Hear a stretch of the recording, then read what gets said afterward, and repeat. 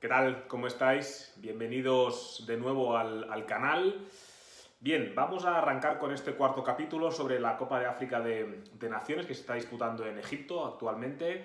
Ya se ha terminado la fase de grupos, con lo cual ya tenemos los 16 clasificados para los octavos de final de esta competición continental. Hay que decir que como es la primera edición en la cual hay 24 equipos, claro, que pasen 16 de 24, los dos mejores primeros de cada grupo y cuatro de los mejores seis terceros, eh, evidentemente muy mal lo tienes que hacer para acceder a la siguiente ronda. Hay que decir que ninguna de las grandes se ha quedado fuera, ninguna de las gordas eh, se ha caído. Los terceros que han quedado fuera han sido Kenia y Angola, por lo tanto el grueso de selecciones va a estar en los octavos de final. Vamos a hacer un repaso primero de algunas que han pasado con muchos apuros, otras que han pasado haciendo, bueno, pues eh, ley del mínimo esfuerzo y luego las que vienen más potentes y las que vienen lanzadas de cara a esta fase definitiva. Así que vamos a empezar con el repaso.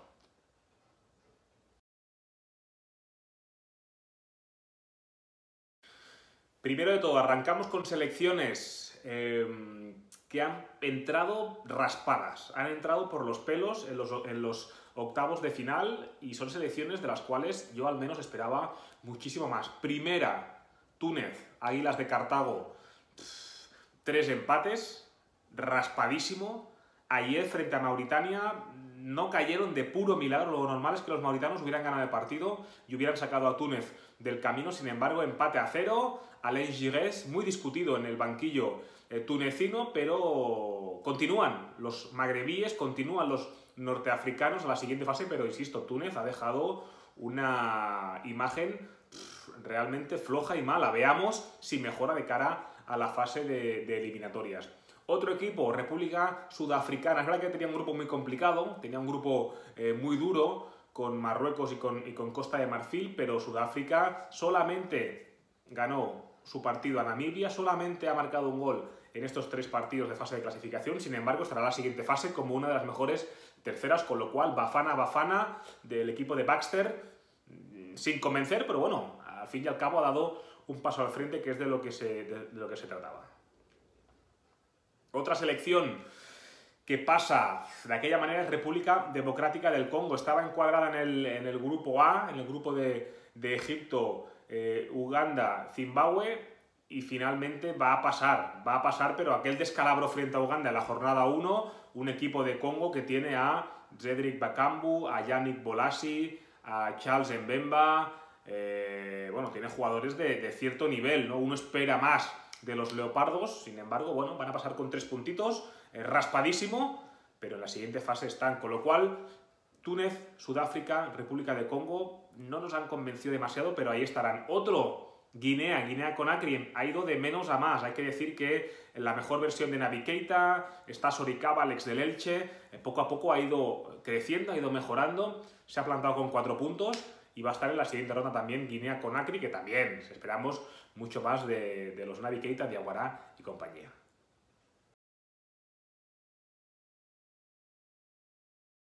Gigantes continentales que han hecho labor, bueno, de, de intendencia, de, mínimo esfuerzo. Actual campeona, Camerún, con Sidorf y Kluivert en el banquillo. Tres partidos de Camerún.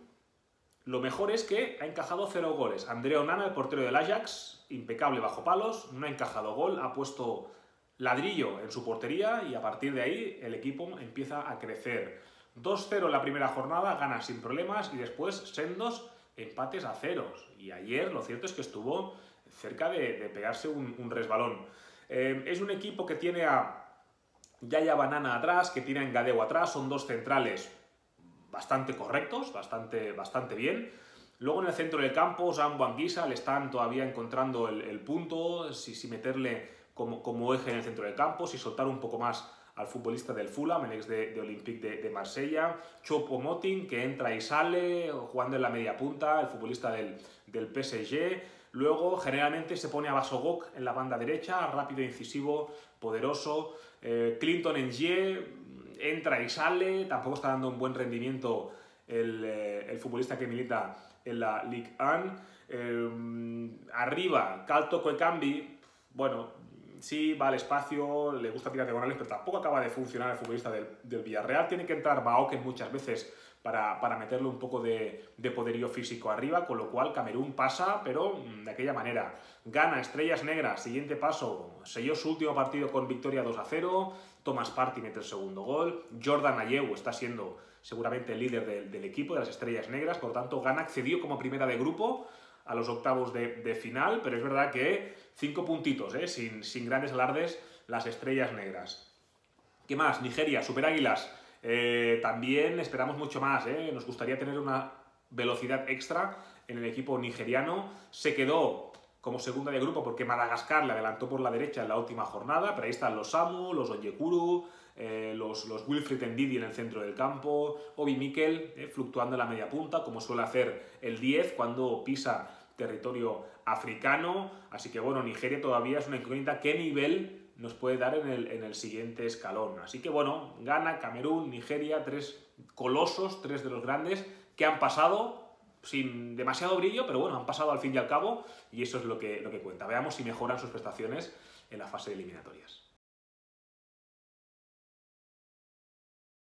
Hay que hablar, cómo no, hay que quitarse el sombrero ante una selección que nos está enamorando, ¿no? Madagascar, los, los malgaches, los Bueyes, el equipo isleño que en su primera participación en una Copa de África de su historia han conseguido no solo acceder a octavos de final, sino encima hacerlo con brillantez, ¿no? con 7 puntos sobre 9. A ver, hay jugadores interesantes, está Andrea Chima arriba, está Andrea Chinoro eh, que ya acumula ya dos goles, eh, está también Ilah Maritra, el futbolista del, Charleroi, que, juega en el centro del campo como interior, que metió un golazo de falta contra Burundi impresionante, que es quien lanza los ataques del equipo de Madagascar, con lo cual Madagascar es una de las selecciones a las cuales le tenemos cariño porque lo está haciendo francamente bien. Y ahora llega el turno de los tres equipos norteafricanos. Hemos hablado antes de Túnez, que ha pasado sin brillo, pero es que hay tres equipos norteafricanos que son los únicos tres que han hecho 9 de 9 en la fase de grupos, tres victorias en tres encuentros. Primero, Marruecos.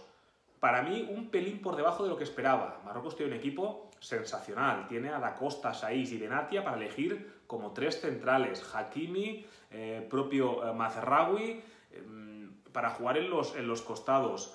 Eh, si no, Dirar también puede jugar en el lateral. Luego tiene el Ahmadi. El otro día sufrió un pinchazo el, el, centrocampista posicional. Veamos si puede estar en octavos de final. Busufa Belanda por delante. Arriba tienes, puedes poner a Bufal, puedes poner a Nordinam Rabat, más poderoso, aunque menos técnico, el ex del, del Deportivo, eh, Club Deportivo Leganés. Arriba en Nesirio Butaib. Y nos falta el salto de nivel de Hakim Ziyech. Nos falta ese punto extra de calidad del futbolista del Ajax que hasta ahora está en un nivel regular. ¿eh? Tiene que dar el salto, tiene que olvidarse de querer ser la estrella del equipo y dar su mejor versión en beneficio del, colectivo Hakim Ziyech. Pero Marruecos 9 puntos sobre 9, sin demasiado brillo, pero con solidez. Así que el equipo de Bernard adelante. Otro equipo que está muy bien, Argelia.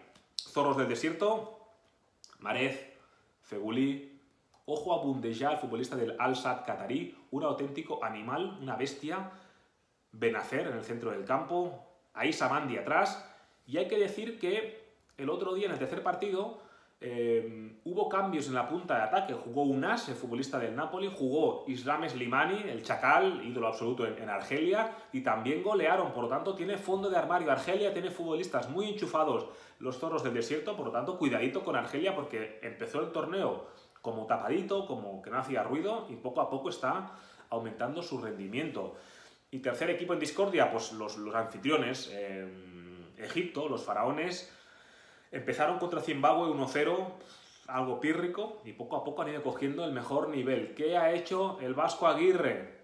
Tengo a Mohamed Salah, el mejor jugador del continente en el equipo, y le acerco a Ahmed Mossan, alias Trezeguet, ¿no? Para poner calidad, para poner talento, último pase, también marca goles el futbolista del Casim pasa, por lo tanto, cuidadito con Marruecos, cuidadito con Argelia y cuidadito con Egipto. Así que vamos a echarle un ojo a ver qué tal va a continuar esta Copa de África. Hay que decir que no ha habido altercados. Hay que decir que también la fluctuación de asistencia a los estadios empezó muy floja, poco a poco ha ido mejorando y esperamos que en octavos de final dé un salto. No ha habido demasiada polémica, por lo tanto, ahora va a entrar el VAR, es decir, en eliminatorias va a entrar el videoarbitraje, así que Eh, esperamos que discurra todo con normalidad. Insisto, las grandes están todas en los octavos de final, con una trayectoria dispar, pero esto es eliminatoria. Aquí el pasado no vale, lo que cuenta es el aquí y ahora en el fútbol africano, así que veamos qué tal discurso. espero aquí para ver cómo se desarrolla esta Copa de África.